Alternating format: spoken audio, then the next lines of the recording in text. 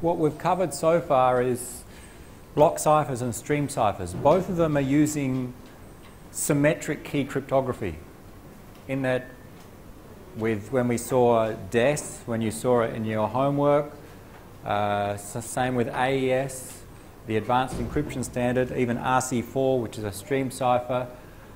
In all of them, the sender has a key and the receiver to decrypt must have the same key. Okay? So by symmetric ciphers, we mean that the key is the same at both sides. There's one key and it must be kept secret. That's the most common form of cipher. It's been around for a long time. All the classical ciphers use that approach where you need to have some secret and to decrypt you need to know that secret. In the last 30 or 40 years, uh, and maybe a bit older than that, but not so publicised, people come up with a new form of cryptography that avoided the need for both sides to have the same secret. The problem with requiring the same secret, that is at the encryptor and decryptor, is that somehow that secret, that key, needs to be distributed.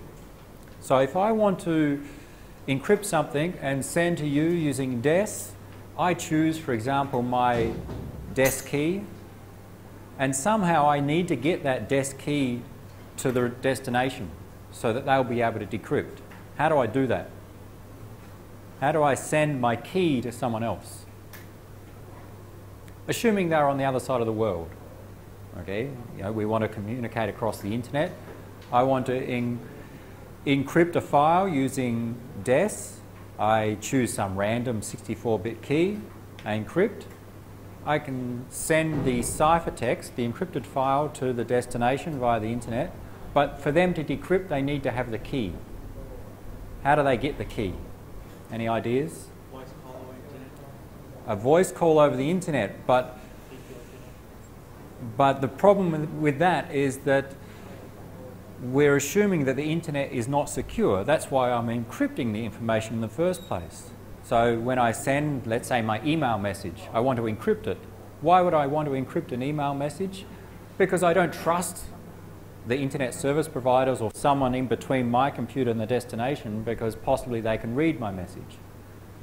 So picking up the phone or, or Skype or a uh, online application to make a voice call, still we have to send that key via the internet. So that doesn't help because if someone listens in, listens into my Skype call or my uh, message that I send and sees the key, then of course they can decrypt my file. Any other ways to send the key to someone?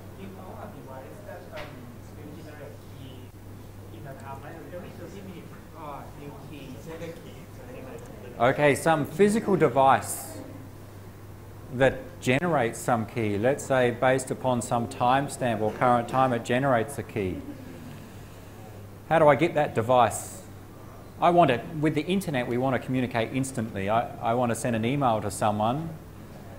For that approach to work, that person I want to communicate with must have this same device that I have. Not so convenient. Maybe I can post it to them, so maybe in a week's time they can read my email but not so useful for real-time communications or, or, at least normal internet communications.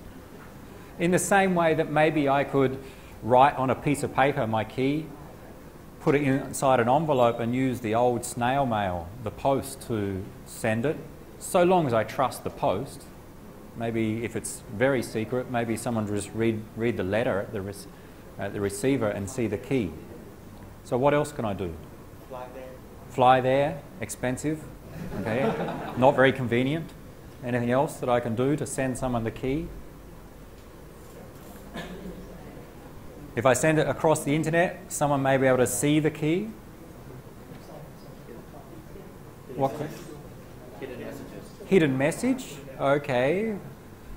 Steganography, there's one way. Uh, hide that key inside some other message okay as one option, uh, but I have to tell, for that to work, for the person to find the key from the hidden message, they must know the algorithm for how I hid it. So how do I tell them the algorithm for how to hide messages or how to unhide messages? It's the same problem. So it's getting this in initial information to the receiver is, is possible, but quite inconvenient with the normal approaches we have. What about if we encrypt the key? Then how do we, if I encrypt the key, then I need another key to encrypt it, then how do I get that other key to the other person? It's the same problem. So using symmetric key encryption works, except there's a problem of key distribution. Asymmetric cryptography tries to overcome that problem. It provides encryption by using two different keys. Not the one same secret key, but a secret key and also a public key. A key that everyone can know, including the attacker or malicious user. And what we'll see, and we'll see it after the midterm, what we'll see is with asymmetric cryptography, what you do is you encrypt using your algorithm using a public key and you send the ciphertext to someone and only the person who has the corresponding private key can decrypt.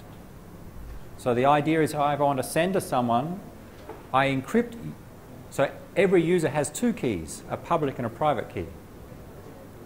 So the destination has their own public and private key. If I want to send something to them, I encrypt it with their public key and the algorithms are designed such that only the person who has that corresponding private key can decrypt. And that's a way to avoid having to distribute the keys. We still need to distribute a public key, but by definition, a public key we can just tell everyone. We don't have to keep it secret. Now, we're not going to cover how that works until after the midterm. But some of the mathematics that it depends upon, the, the example algorithms we'll look at, requires some different, uh, or some things that you may not know. And that's what we're going to cover today. It's a very simple number theory. Some of it you'll already know, and we'll just quickly go through to refresh your memories. Some of it will be new. So this topic on number theory is going to support the next topic on public key cryptography.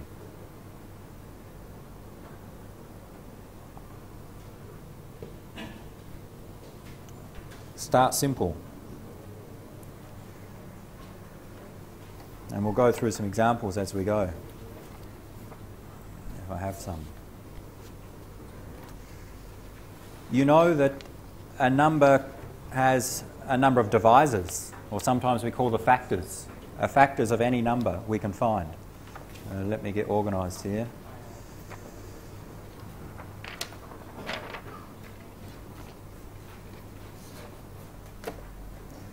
So, just some definitions and terminology. So you know this, but or at least most of this, but uh, you may not have used the, the terminology. We can say some number, some b divides a where both b and a are integers, if a is equal to some other integer, m multiplied by b.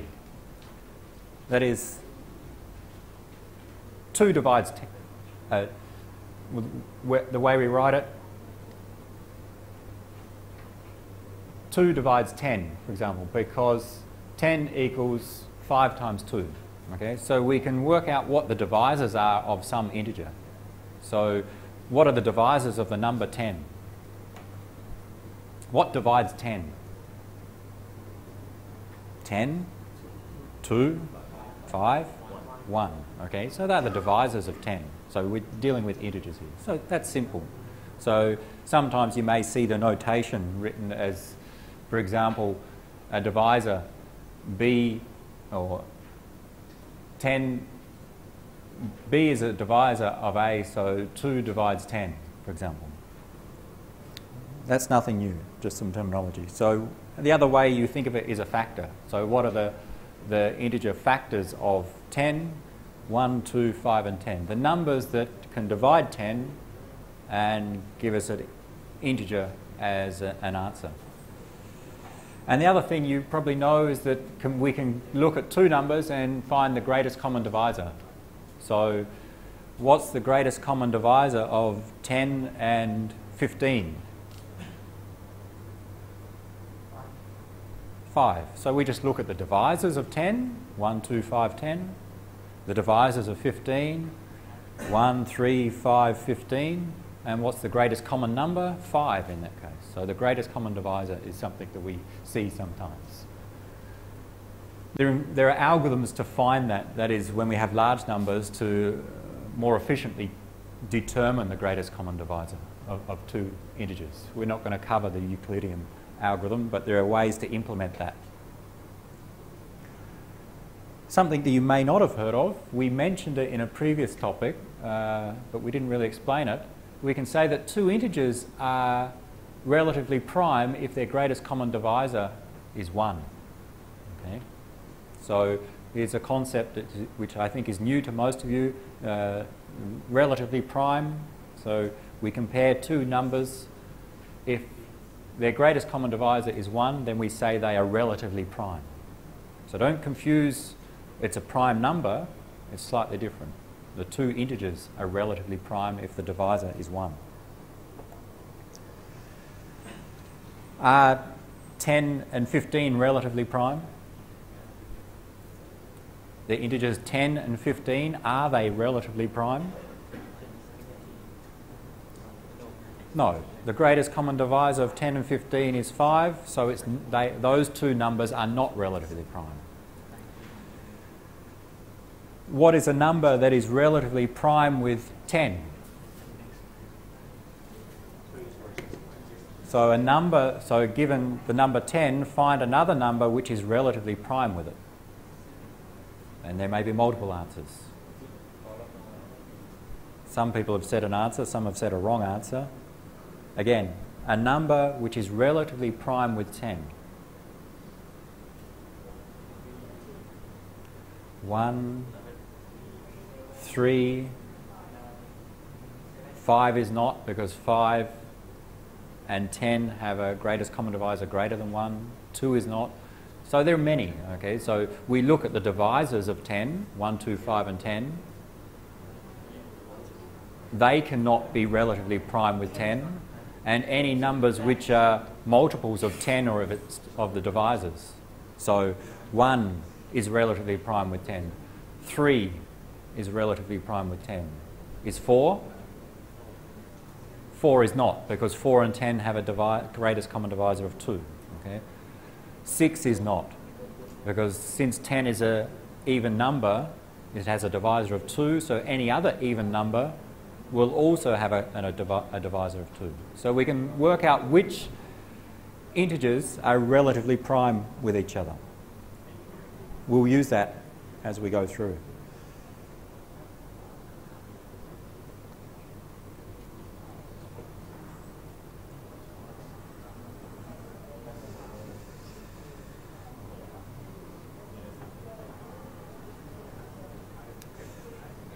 Another thing that you know about, I'm sure you've seen, is prime numbers.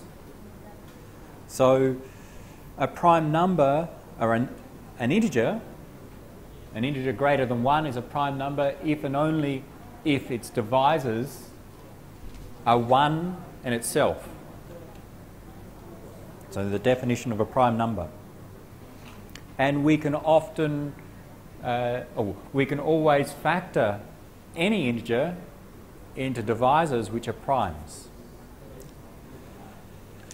Before we go into that definition, some example of prime numbers, and you would have seen them, uh, is on the next slide. So this is a list of the prime numbers which are under 2,000. So all of these, for example, the number 97 is a prime number because the divisors of 97 are 1 and 97. And that's it. There are no other divisors. So our prime numbers. Prime numbers are used in a number of the ciphers that we look at with asymmetric cryptography.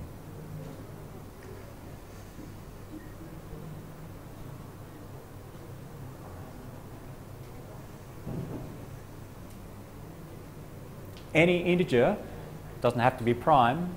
Any integer can be factored into prime numbers.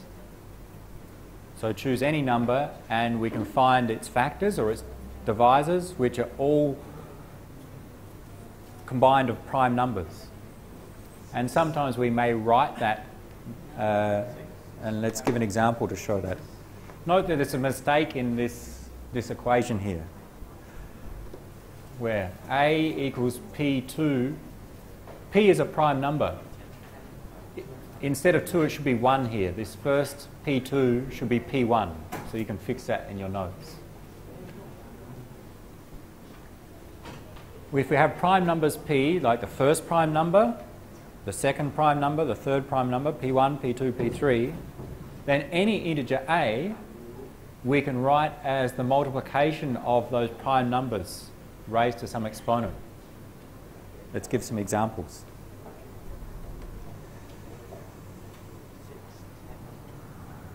Let's write it on the board for these simple ones.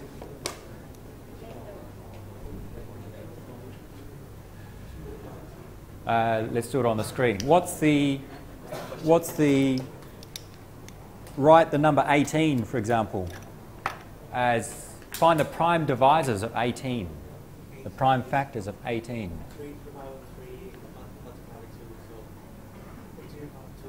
Okay, 18.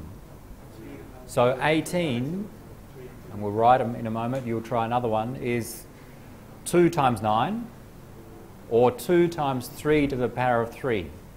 2 and 3 are prime numbers. So we can break 18 into the multiplication of multiple prime numbers. What about 22? Find the prime factors. And 24.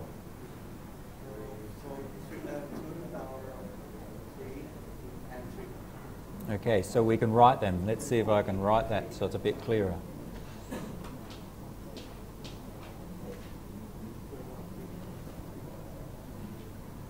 So some examples, what have we got? We can write 18 as 2 to the power of 1 multiplied by 3 to the power of 2. Where 2 and 3 are prime numbers, P1 and P2, and some exponent. And similar, we can consider any integer. Another example is 22. What are the prime factors of 22? Remember, 2 is a prime number. It's, we can write it in as 2 to the power of 1 times by 3 to the power of 0. Let's list all the prime numbers up until the maximum one, sometimes useful. What else do we have? 7 and 11 to the power of 1. So one way to be complete is to, to look at the prime numbers in sequence. So the first five prime numbers are 2, 3, 5, 7 and 11. 22 is any integer is made up by multiplying prime numbers together, the prime factors. In this case, it's 2 to the power of 1 well, we don't have a 3 in here. We can say 3 to the power of 0, which is just 1, multiplied by 1, by 1, by 1, and multiplied by 11 to the power of 1. Or we could have, in shorthand, write 2 to the power of 1 times 11 to the power of 1. Sometimes we look at the exponents, and 22 is simply, if we write the prime numbers in order, 1, 0, 0, 0, 1. That's used in some forms. I don't think we'll see it in any other examples. So just a characteristic of all integers can be factored uh, into prime numbers or have prime factors. And that will become important later. One more example, what is it? 24. What is 2 to the power of 3, which is 8, times by 3 to the power of 1, which is 3. So again, the exponents here are 3 and 1. So in theory, any integer can be broken into its prime, prime factors. In practice, with large integers, finding the prime factors is very time consuming. That is, for very large integers, when we're talking about hundreds of digits, hundreds of digits long, finding the prime factors of a very large number is effectively impossible. with the compute power we have. There are no known algorithms that can do it in reasonable time. We'll see that that's a, an important part of some security algorithms later. So simple stuff so far. We have prime numbers, we have divisors, we have a greater, greatest common divisor, and maybe the only new thing to you is two integers are relatively prime if their greatest common divisor is 1.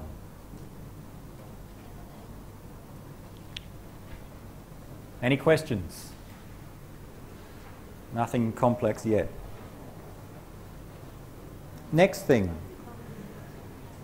What are, when we do normal arithmetic, ignore modular arithmetic, when we do normal arithmetic, what are the operations that we, we know and we use all the time? Arithmetic, when you learned in primary school, what are the operations, the first operation you learn? Addition, Second, subtraction, multiplication, division. Any more? Mod. Uh, before mod, you probably learned some, maybe you learned exponentiation and logarithms, raised to the power of, and a logarithm, which is the inverse, effectively. So how, how would I write it? But sometimes exponentiation, you see the hat character, 2 to the power of 3, like we saw in our prime numbers. And the other operation we sometimes see as logarithm. Note that they are related in some way. In that is, for example, exponentiation, raising a number to the power, is just multiplying multiple times. So there's a relation between multiplication. So that's the operations we have in normal arithmetic. And we can see that they go together. That is, we could think that subtraction is the opposite of addition. Okay? 3 plus 2 equals 5. 5 minus 2 equals 3. Okay? So we can say that subtraction is the inverse operation of addition. Inverse of addition. And similar division is the inverse of multiplication. 5 times 2 is 10. 10 divided by 2 is 5. Okay? And similar logarithm is the inverse of exponentiation. So those operations are related. You know them, you're experts on them. What we deal in with in uh, a lot of the security algorithms is modular arithmetic. When we introduce in all of these operations the mod operation, sometimes written as percent. That is, we find the remainder. So let's look at modular arithmetic.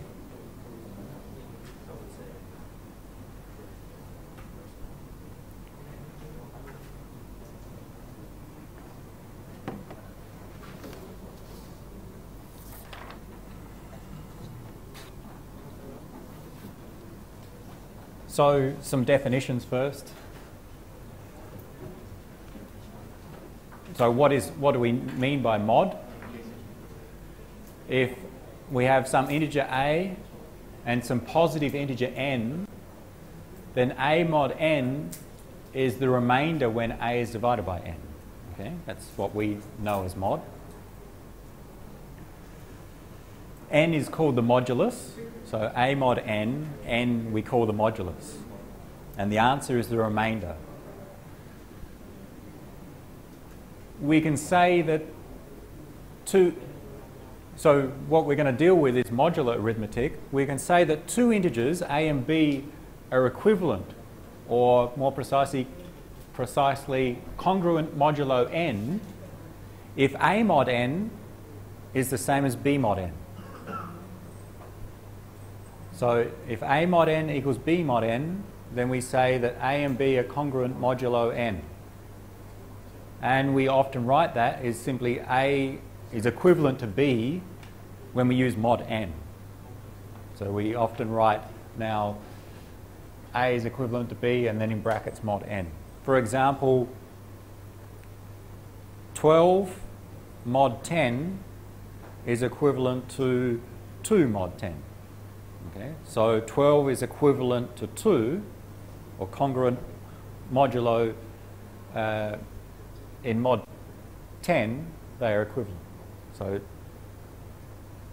12 mod 10 equals 2 mod 10, or 12 equals 2 in mod 10 is another way to think of that.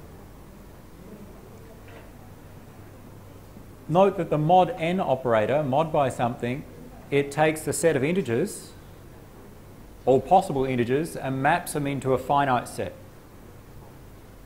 from 0 up to n minus 1. And we often denote that set as Zn. So when we mod by 10, any integer, the answer is always going to be between 0 and 9. Okay. Modular arithmetic performs our operations that we have for normal arithmetic, but all in mod n and within the confines of the set Zn. So the answers will always be in Zn when we use our modular arithmetic, and in fact, effectively, the, the inputs are all, all within the set as well. So we'll define that we can, when we do modular arithmetic, we'll go through these six operations and see how they work when we use uh, the mod form. Some are obvious, some are not so obvious because this form of arithmetic is used in some of the ciphers that we'll cover later. In fact, we've already seen it in some of our ciphers. We've seen it in the Caesar cipher.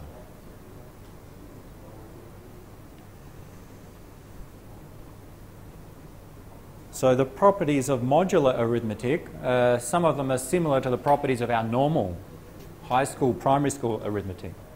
So some of them are, are defined here. So when we consider addition, subtraction and multiplication, then how we calculate them in normal arithmetic also applies with modular arithmetic. So some of the, the rules that we'll see, uh, for example, a mod n plus b mod n, all mod n is the same as a plus b mod n. Uh, similar with subtraction and multiplication.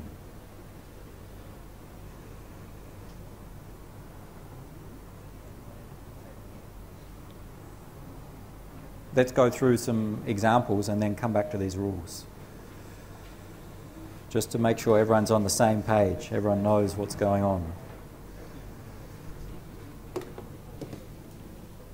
And the examples I'm going to do here in, we can do them in any with any value of n, but I'll do them with um, mod n, 9, just to keep things interesting. For example, Let's assume everything that I write here is in mod 9. Our modular, modulus is 9. Mod 9.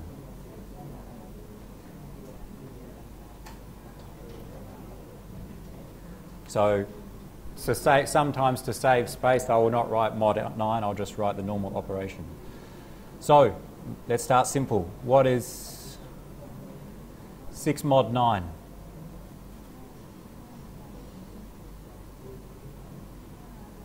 Well, you can tell me the answer very easy, but we can write it in the full form. The way that we think of module, uh, mod is we have some number multiplied by 9 plus a remainder equals 6. So some integer times 9 plus a remainder equals 6. The answer of 6 mod 9 is that, that remainder. So in this case, what do we get? Zero. Zero times 9 plus 6. So the answer is 6. Okay, just a very, a very basic way to look at modu the modular operator, modulus. Uh, 23 mod 9.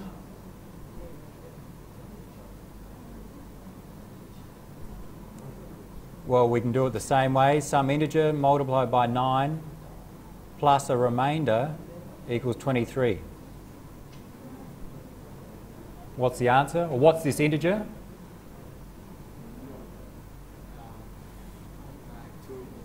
2 times 9 is 18, plus 5 is 23, so the answer here is 5. Although we don't, we will not use it in most of our uh, cryptography, but just for interest, what about minus 24 mod 9?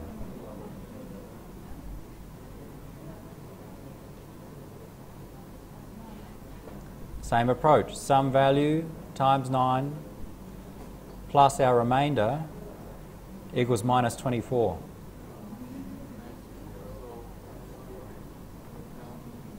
What's the answer? Try. Some number, some integer times 9 plus something equals minus 24. What is the, first, what is the multiplier and what is the remainder?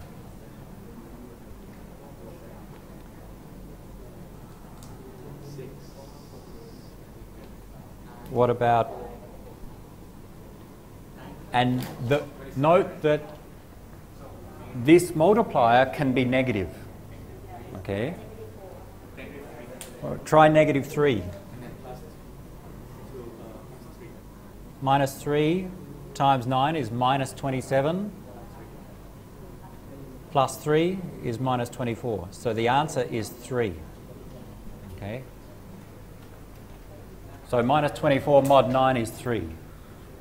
Okay? I don't think we'll see the, the negative mod. We, we saw it in Caesar cipher, in the ciphers earlier. I think you've seen it there, but I don't think we'll see it much later than that. That's easy. That's very basics of modular arithmetic.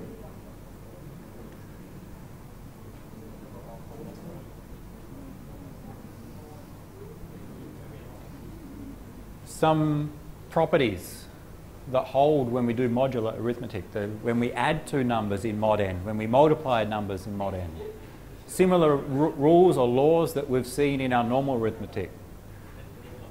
For example, this one is w plus x mod n is the same as x plus w mod n.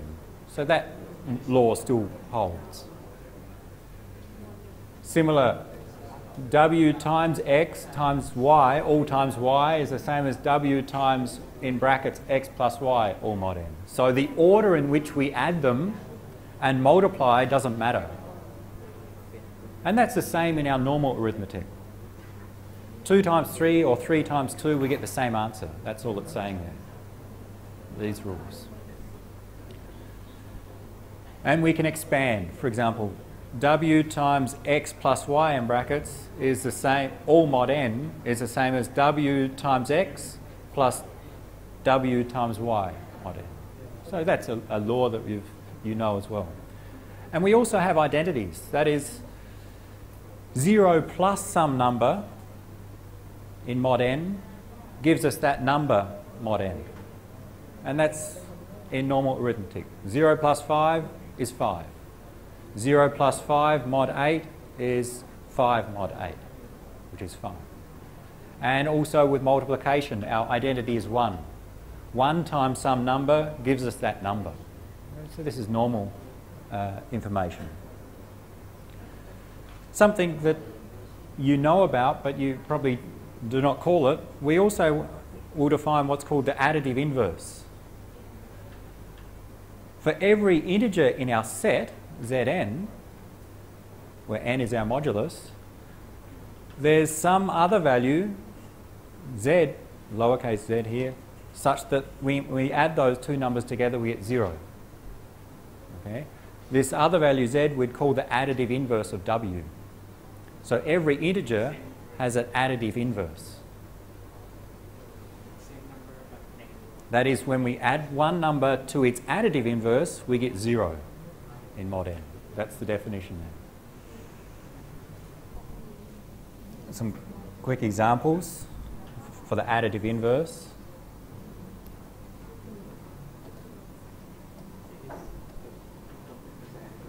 Let's go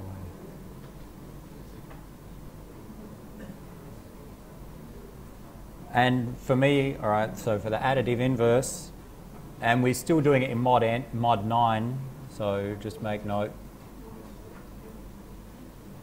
Everything on, on the examples so far is in mod 9. Keep it simple. And additive inverse, let's call it AI. What's the additive inverse of 3? What is, try, write it down, work it out. What is the additive inverse of 3?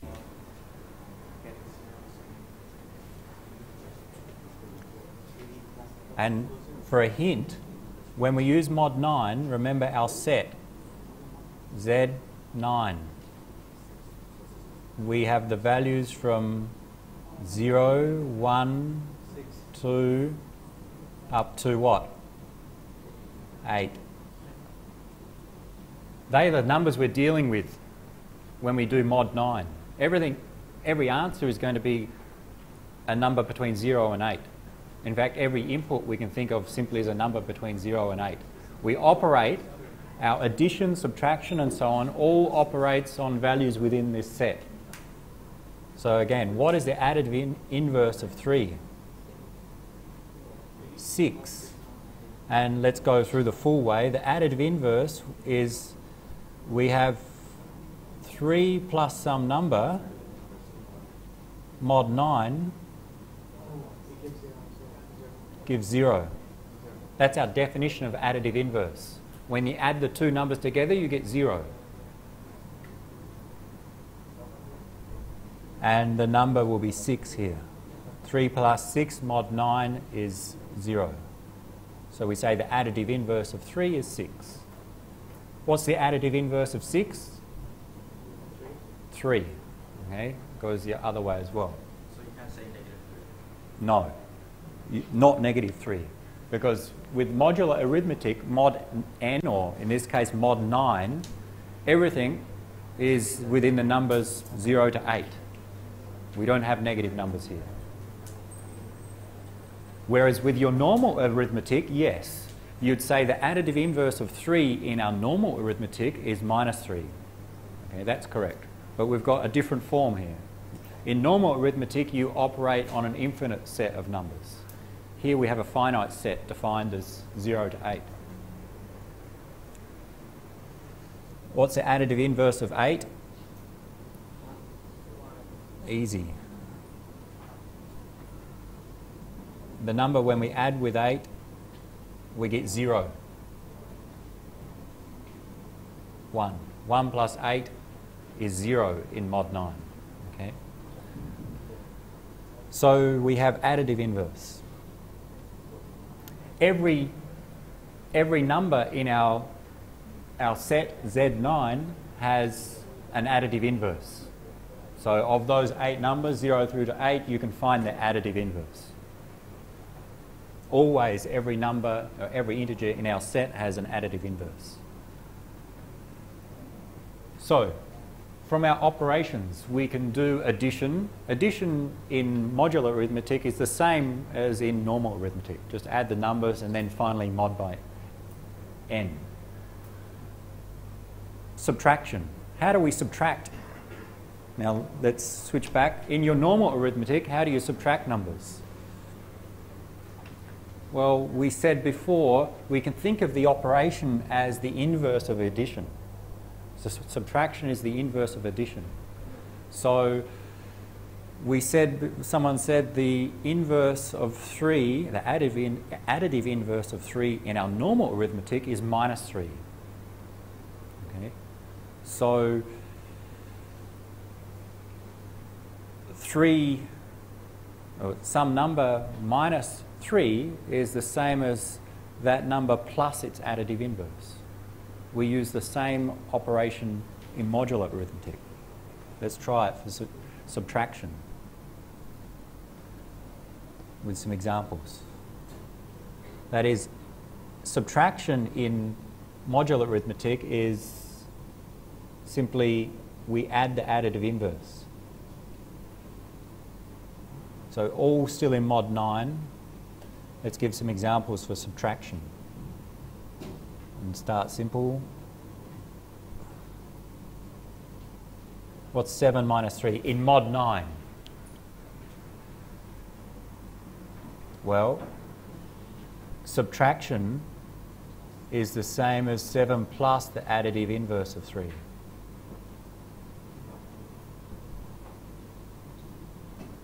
Mod 9. And we know the additive inverse of 3 is the additive inverse of 3 is 6, so we get 7 plus 6, 13, mod 9, because although I haven't written it, all of these operations in mod 9, which is 4. 7 minus 3 is 4 when we use mod 9. Okay, that's easy. Let's try another one then. 2 minus 8 in mod 9. Mod 9. What is 2 minus 8? Try and calculate.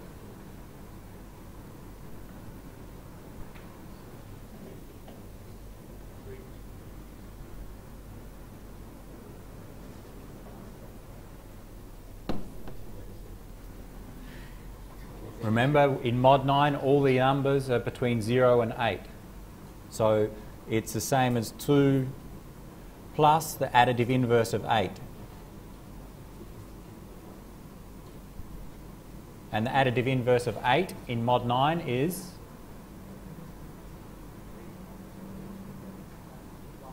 one. The additive inverse of 8 in mod 9 is 1 because 8 plus 1 mod 9 equals 0. The answer is simply 3. 2 minus 8 equals 3. Okay? So that's something that's the first thing people get confused with. Don't apply your normal operations of your normal arithmetic. Now we're limited in a, in a set when we do modular arithmetic, in this case mod 9 arithmetic.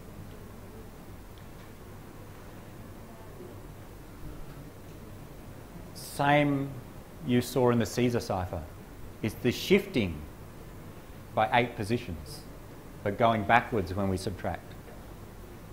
Remember, because we wrap around effectively, we go 0 up to 8, 0 up to 8. If we take, start at 2 and go backwards, then we end up at 3 if we go backwards 8 positions.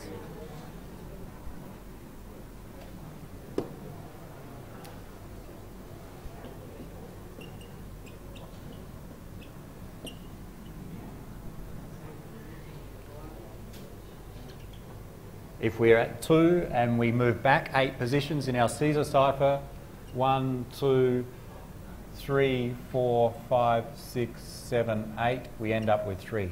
So 2 minus 8 is 3. So we saw that in the Caesar cipher and, and the subsequent ciphers based on the Caesar cipher. It's just expressed mathematically here. So we can now do addition in modular arithmetic. It's the same as our normal arithmetic. We've defined the additive inverse. When we add a number with its additive inverse, we get 0 in mod n. And we know the operation for subtraction. It's simply a minus b is a plus the additive inverse of b, all in mod n.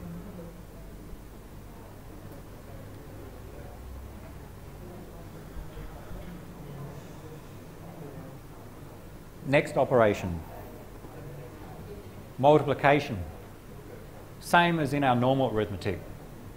Okay, so effectively the same. You can multiply and just mod the answer by n. So in mod 9, 2 times 4 is 8 mod 9, which is 8. 2 times 5 mod 9 is 10 mod 9, which is 1. Okay, so multiplication is easy, it's just our normal arithmetic mod 9.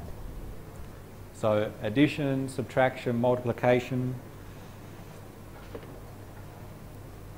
And the same as to do subtraction, we use the additive inverse because we think of subtraction as the inverse operation of addition. The inverse operation of multiplication is division. So to do division, we multiply by the multiplicative inverse. So we've got a new concept. Numbers can have an additive inverse in modular arithmetic. Some numbers can also have a multiplicative inverse. And that's defined on our next slide. That was, uh, that was additive inverse. All integers have an additive inverse. We can also define a multiplicative inverse. A is a multiplicative inverse of B if A times B equals 1 in mod n. And that's the same as in the same concept as in our normal multiplication and division. In what would you say is the multiplicative inverse of 3 in our normal arithmetic? In our normal arithmetic, one third. In our normal arithmetic, 3 times one third equals 1. 4 times by 1 over 4 equals 1. So in our normal arithmetic, we have a multiplicative inverse, which is just 1 over that number. In modular arithmetic, same concept. The multiplicative inverse, if we multiply the two numbers together, we get 1 mod n. Let's try some.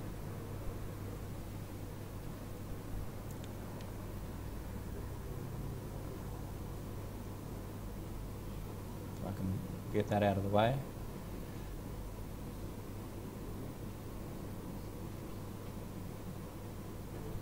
And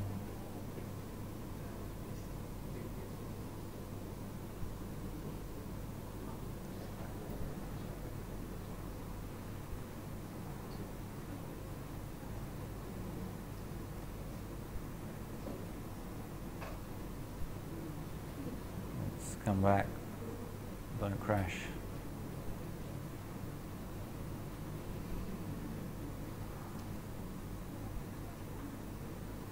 Why has my computer crashed?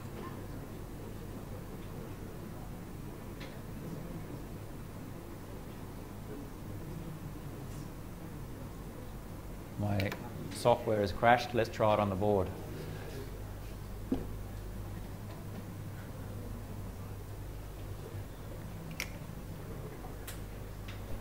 Some multiplicative inverse examples.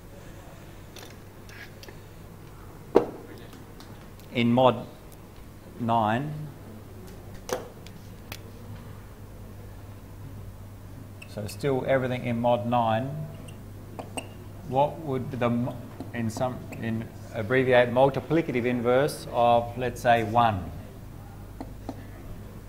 What is the multiplicative inverse of 1? By definition, you multiply one number by its inverse and you get 1. So that one's simple because 1 times by some number mod 9 equals 1. What is that number? 1 in this case. 1 times 1 mod 9 is 1. The multiplicative inverse of 1 is 1. That's easy. What is the multiplicative, multiplicative inverse of 2?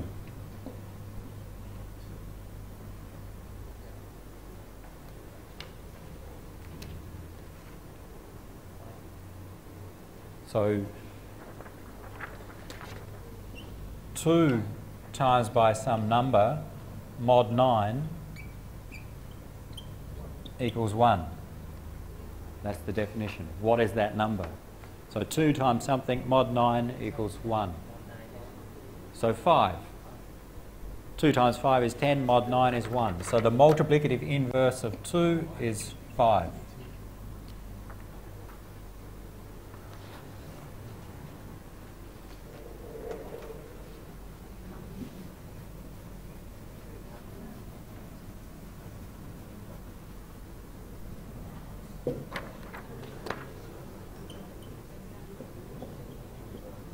Multiplicative inverse of 5? 2, we can see. If 2 times 5 equals 1, then 5 times 2 equals 1. It goes the same in the opposite order. Uh, 4.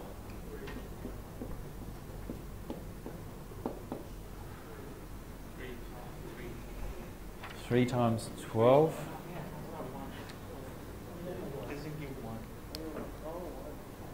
4. 4 times something equals 1. What is that something when we mod by 9?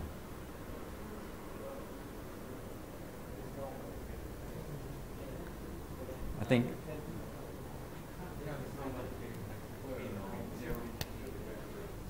So again, 4 times by something, all mod 9 equals 1. 4 times 7 equals 28. 28 mod 9 is 1 because 3 times 9 is 27.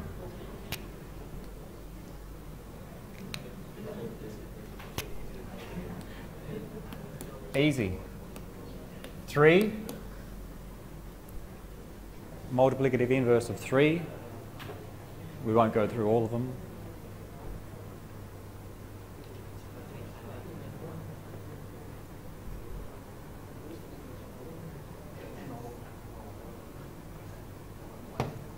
Find the multiplicative inverse of 3. While I try and fix my computer.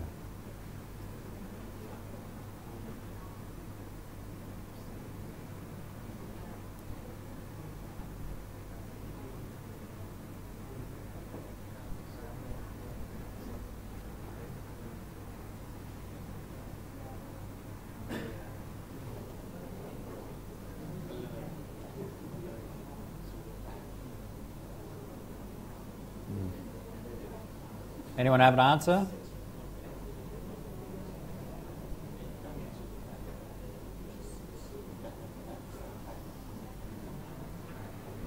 There is no answer. There is no multiplicative inverse of 3 because there's no integer in our set that when we multiply by 3 and mod by 9 we'll get 1. Okay?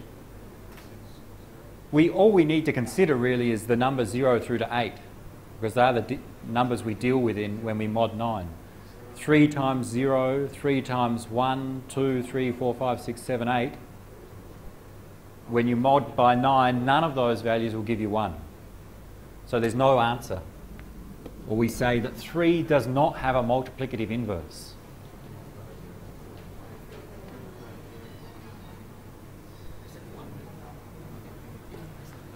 Not all integers have a multiplicative inverse. All integers have an additive inverse, but not all of them have a multiplicative inverse. And more precisely, some integer a will have a multiplicative inverse in mod n if a is relatively prime with n. So 5 is relatively prime with 9 therefore it has a multiplicative inverse. 4 is relatively prime with 9, therefore it has a multiplicative inverse. 3 is not relatively prime with 9, and therefore it does not have a multiplicative inverse. So not all numbers will have a multiplicative inverse. One more attempt. So let's list our numbers. What do we have? Uh, just for reference.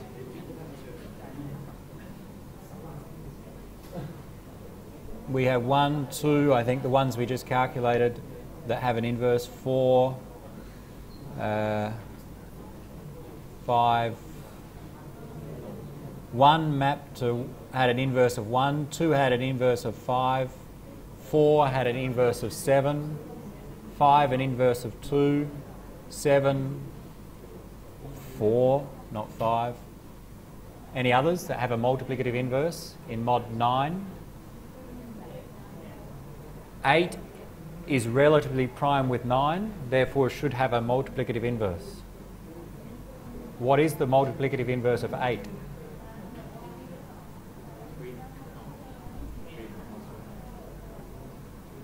It's in fact, remember it can only be these numbers from this set. It's itself. If this is A, and this is the multiplicative inverse of A. 8 times 8 is 64, mod 9 is 1. Okay, So they are the multiplicative inverses in, in the set Z9. when we mod by 9. Okay? So not all integers have the inverse. 0, 3, and 6 do not.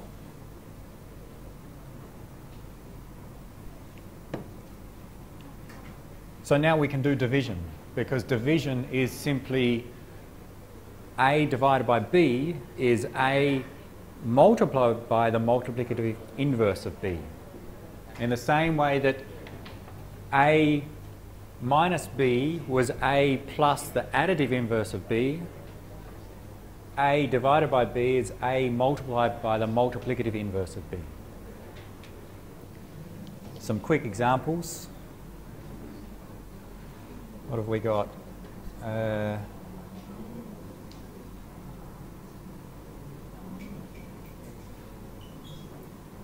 what's 4 divided by 2 in mod 9?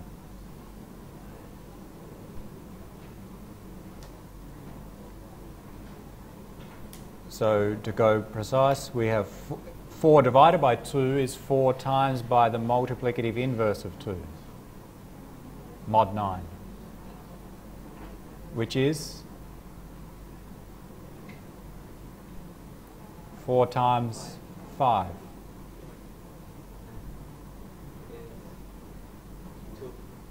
Which is 20 mod 9, which is 2. 20 mod 9 is 2. 4 divided by 2 is 2. That was easy. Try this one. 6 divided by 7. Find the answer.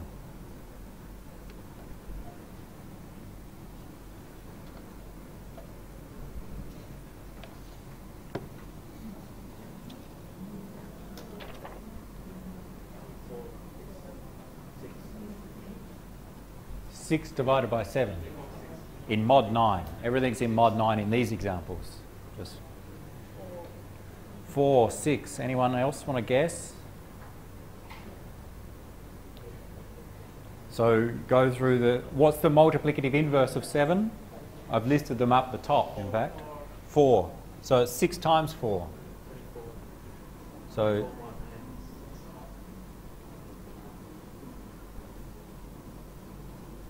is 6 times 4, which is 24, and 24 mod 9 is 6, because 2 times 9 is 18.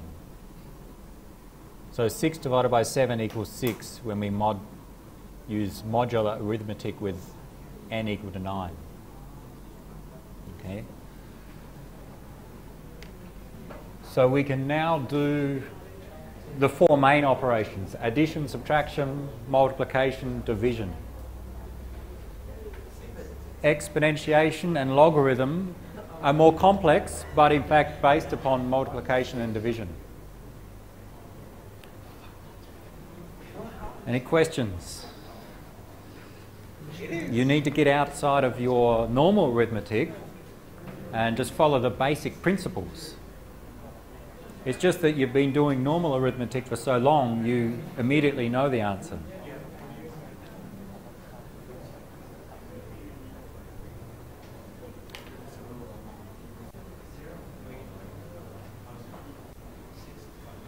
Remember, all of our answers, all of our answers when we mod 9, uh, the values between 0 and 8, the integers between 0 and 8. We don't have fractions. We don't have negative we, we don't have negative numbers or fractions or numbers greater than 8 when we do mod 9 arithmetic. Of course, I'm just using 9 for an example. It can be mod anything. Same principles. The two key things that uh, will come up later, we've seen the additive inverse. Every integer has an additive inverse not every integer has a multiplicative inverse. Only if that integer is relatively prime with n does it have a multiplicative inverse. And that will become important when we look at the ciphers. And the way, for example, RSA works. So we've done division.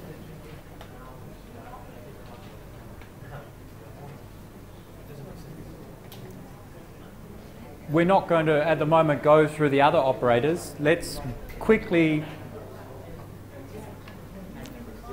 look at a couple of theorems and then one new concept, the Euler's totient function. In fact, let's not go through Fermat's theorem until after the break. Let's go direct to Euler's totient function and define what that is. And later we'll see it's used in Euler's theorem. And it's very important when we look at the asymmetric ciphers. Written as phi of n. The, in short, we may say the totient of n returns some value. And the, the value, this function, it returns the, the number of positive integers that are less than n and relatively prime with n. So what we do, if n equals 10, we look at the integers from 1 up until 9, the integers that are less than n, so if n is 10, 1 to, 1 to 9, and count which of those are relatively prime with n. And that's the answer. So the totient of some number, we look at how many of numbers are less than that, which are also relatively prime with that number n. We'll see some, some special cases, but let's go through some, some simple ones first. And then we'll have a break.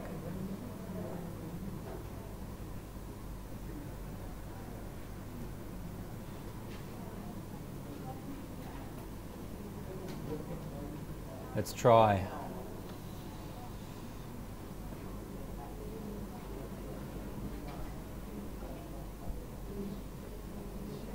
What is the totient of 10? What is Euler's totient of 10? n equals 10. So by defini definition, is the number of numbers less than 10 which are relatively prime with 10. So go through and look at all of them. So uh, uh, the long way is to look at all the numbers from 1, so effectively from 1 up to 9 in this case. Let's, let's list all the numbers first, I will, so everyone's clear.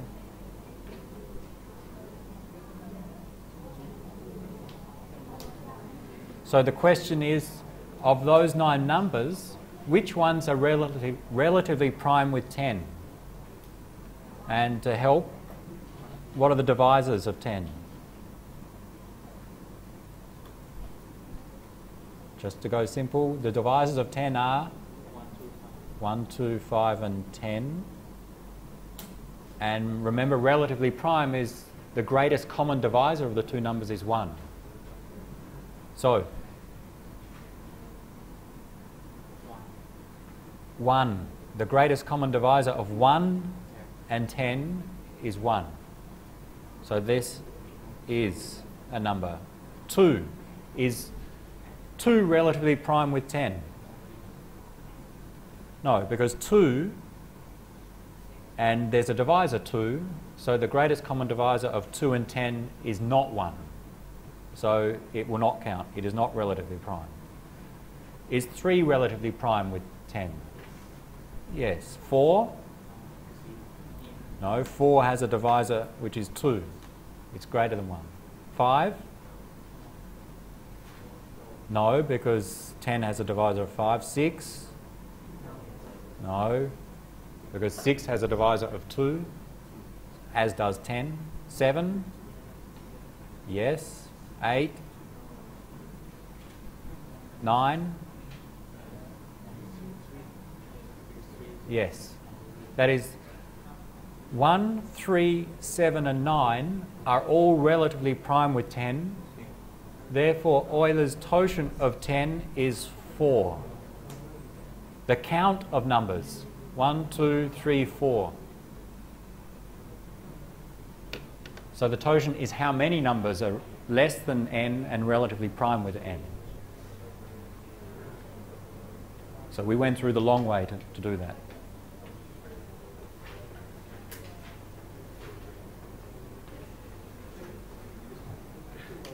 You'll try a quick. What's the totient of 24?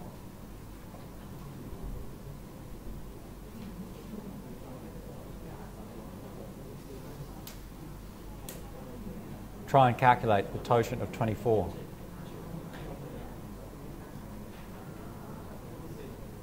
And then one more once you've done that, the totient, say, of 11.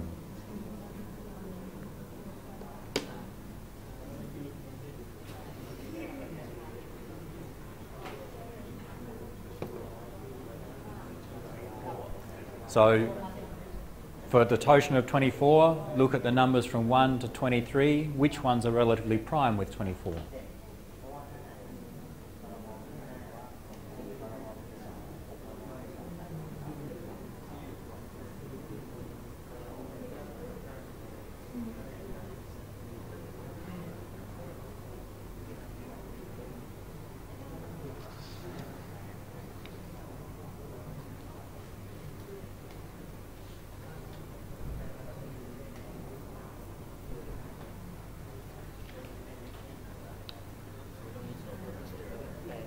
we will do it after the break.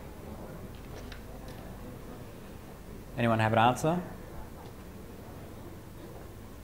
So simply look at the divisors of 24. That may help.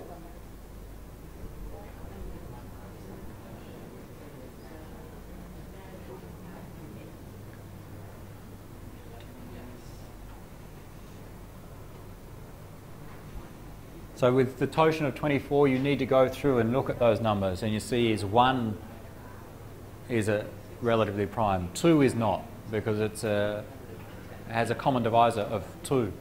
3, 3 is in fact a divisor of 24, so therefore it's not relatively prime. 4 is a divisor of 24. So if you find all the divisors of 24, those numbers will not be relatively prime, except for 1. And any of the multiples of those numbers will not be relatively prime with 24. Anyone get an answer? Totient of 24. What is the totient of 24? The totient is the number of numbers which are relatively prime with it. 8.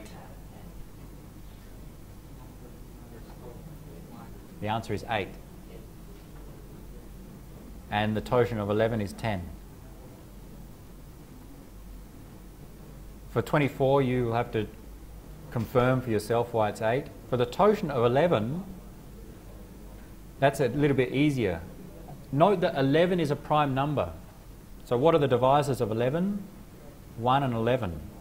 It's a prime number. The divisors of 11 are 1 and 11. So look at the numbers from 1 to 10 and see which ones have a greatest common divisor with 11 and you'll find all of them. All of the numbers less than 11 are relatively prime with 11. That is 1, 2, 3, 4, 5, 6, 7, 8, 9, 10. And that applies for all prime numbers the totient of a prime equals that prime number minus 1. And that's on the previous slide. So that's a shortcut. If n is a prime number, then immediately you can find the totient. It's just that prime number minus 1.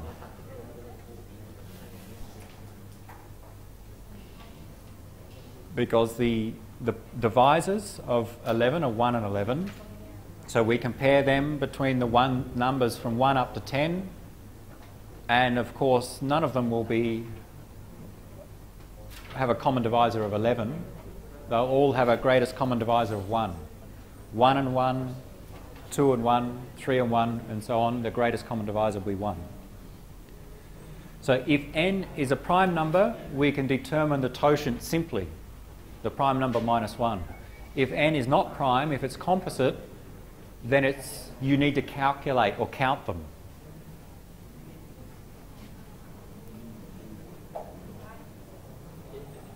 And that's what's here. All right, this is some special cases. The totient of 1 is always 1. The totient of a prime is p minus 1, where p is the prime. And we'll finish up, we'll give an example after break. Another useful property, if n is the multiplication of two prime numbers, then the totient of n is the totient of the multiplication of, or the totient of p multiplied by the totient of q. So there are some shortcuts.